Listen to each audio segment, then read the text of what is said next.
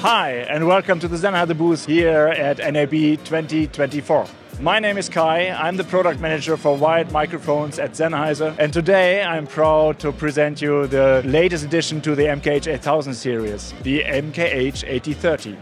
Our MKH series microphones are known for their flexibility in applications ranging from sports broadcasting, location sound, and high fidelity recording.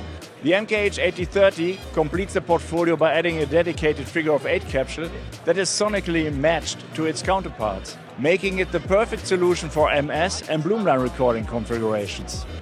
All 8000 series microphones feature a symmetrical, acoustically open push-pull transducer. This helps to keep the sound flow as unrestricted and undistorted as possible, providing a precise polar pattern with minimal off-axis coloration.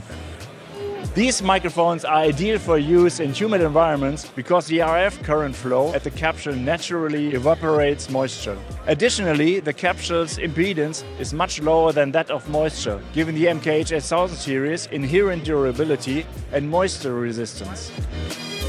If you're looking for microphones with low self-noise and sonic clarity, the MKH 8000 series is the top of the line. We're very excited to finally release the 8030 and to now offer a figure of eight solution that the industry has been waiting for. Please let us know if you have any questions in the comments or visit our website sennheiser.com for more information.